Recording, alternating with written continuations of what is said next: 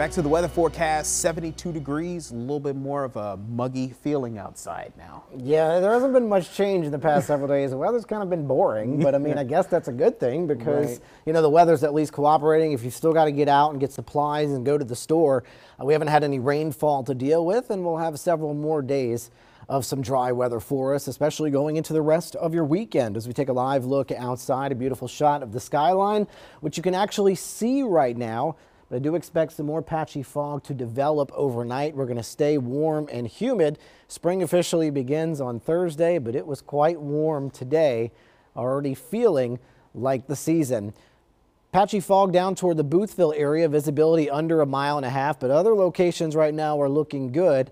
Do expect some of this fog to spread a little bit further to the north as we go into your Sunday morning. So if you're an early riser and going to be out and about, could encounter some of this reduced visibility. It improves as we go into the afternoon. We'll work in some sunshine, but then going into Monday morning for the start of your week, still could have some of that patchy fog lingering, especially along the coastlines. So you want to keep that in mind if you're going to be up early.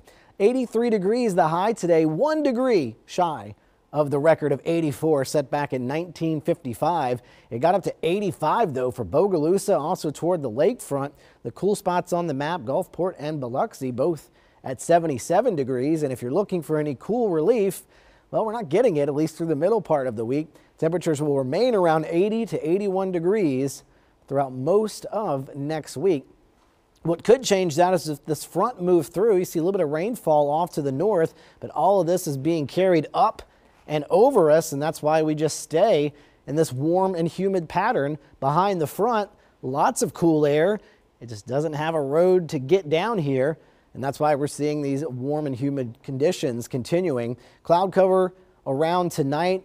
That patchy fog will form early into the morning. Temperature starting out in the low to the mid 60s. And as we go through your day tomorrow, some sunshine returns, highs in the upper 70s to the low 80s. Into Monday morning, that's when we'll see some fog again down toward the coast, upper 50s to the lower 60s. So this pattern kind of continues each day. Warm and humid mornings and some warm afternoons with those above average temperatures. As far as rain chances are concerned, we'll start to add in some scattered shower potential going throughout next week, but the overall coverage is going to remain low. But if you're looking for the temperatures to drop, we may see that by next weekend.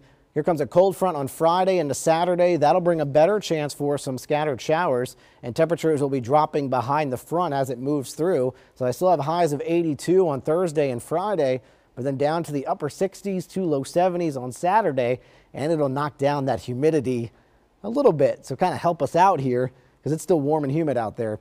Low 70s for most areas tonight, down to 64 though in the Hammond area as winds continue out of the southeast. It was breezy today, but now under 10 miles per hour across most of our locations. So for tonight, low to mid 60s, some patchy fog to greet you in the morning and then a consistent pattern for the next several days 60s and 80s and then some slight rain chances throughout much of next week.